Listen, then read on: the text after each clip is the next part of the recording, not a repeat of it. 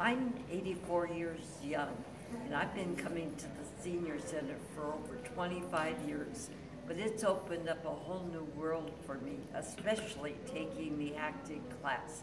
That really opened up a whole new avenue of experience, and it was wonderful. It uplifted me whenever I did a good job, and I couldn't believe how supportive the people were that took the class along with me.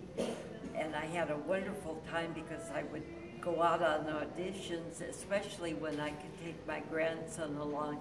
And he, if he could watch the, me actually giving my, doing my bit. And I know one time he said I did a better job than anybody else. And if you don't think that didn't, wasn't, if that wasn't special, I don't know what could be more special than having the admiration of your grandson.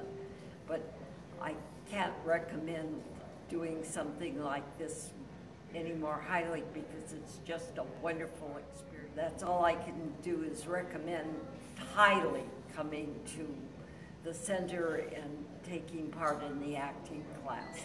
That's at Las Palmas Senior Center and on just south of Franklin on Las Palmas.